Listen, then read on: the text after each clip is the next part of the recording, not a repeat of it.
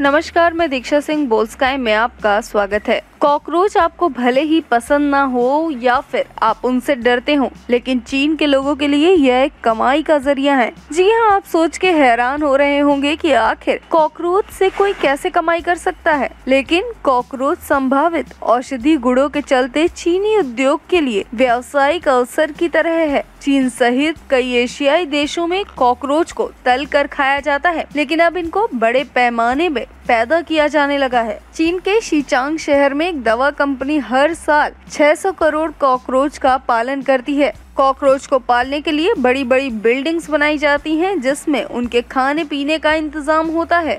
जिस बिल्डिंग में कॉकरोचों को पाला जाता है, उसका तापमान, खाने की उपलब्धता और नमी पर नियंत्रण रखा जाता है। उनका लक्ष्य कम समय में ज़्यादा से ज़्यादा कॉकरोच पैदा करने का होता है। चीन के परंपरागत दवाई के रूप में पिया जाता है। इसका इस्तेमाल दस्त, उल्टी, पेट कैंसर, सांस की परेशानी और अन्य बीमारियों के इलाज में किया जाता है। बता दें कि वहाँ पर दवाई के लिए कॉकरोच का पालन सरकारी योजनाओं का हिस्सा है।